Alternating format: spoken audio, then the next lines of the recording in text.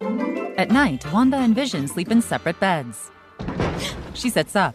What was that? She uses her powers to turn on a lamp, then shuts it off. Wanda turns the lamp on, then off again. Wanda, Yes, dear.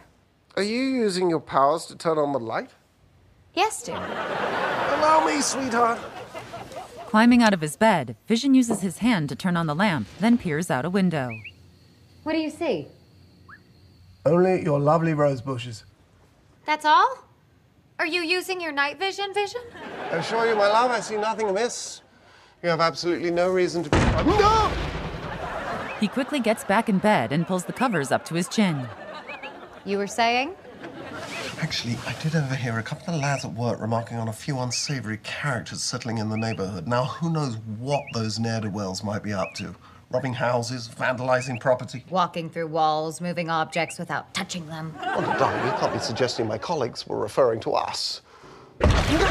Their beds slide together. One of us should really determine the source of that sound. Yes, one of us should. oh, this is getting ridiculous. I'm going to take a look. Oh, With a wave of her finger, Wanda parts the curtains to reveal a tree branch banging against their window. Well, I think we handled that well. Yes, I must say I'm rather proud of myself. And look how you seized on the opportunity to redecorate.